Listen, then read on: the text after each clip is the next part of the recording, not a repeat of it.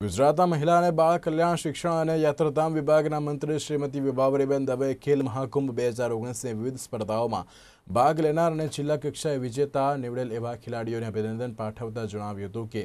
આવી સ્પર્ધાઓમાં સતત પ્રયાસ કરનાર ખેલાડી આજે નહીં તો કાલે અવશ્ય સફળ થતો છે. એટલે વિજેતા સિવાયના તમામ સ્પર્ધકોને પણ સ્પર્ધામાં ભાગ લેવા બદલ અભિનંદન આપીને હવે પછી ભવિષ્યમાં સતત જે તે સ્પર્ધામાં ભાગ લઈને શ્રેષ્ઠ દેખાવ માટે સતત પ્રયત્નશીલ રહેવાની હિમાયત સાથે વિદ્યાર્થીઓને મંત્રી શ્રીમતી દવેએ ખેલાડીઓને પ્રોત્સાહિત કર્યા હતા.